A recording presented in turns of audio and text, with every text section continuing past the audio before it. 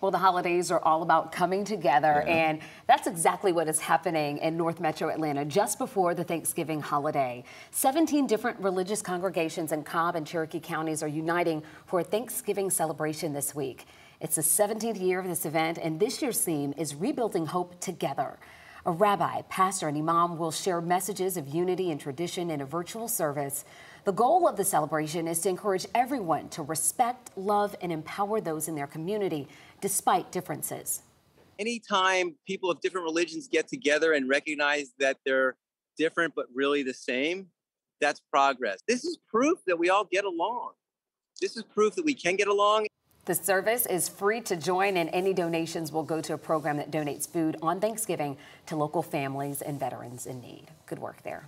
Man, what a great organization. And what a great thing to do, especially for those who are in need. I know. Holiday's a great time to do it. Mm-hmm. Hey,